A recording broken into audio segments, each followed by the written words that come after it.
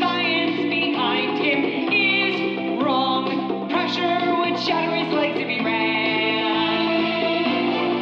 Because 200 tons is what King Kong weighs. It's 100,000 pounds of food each day. Would need two hearts to pump blood to his legs and head.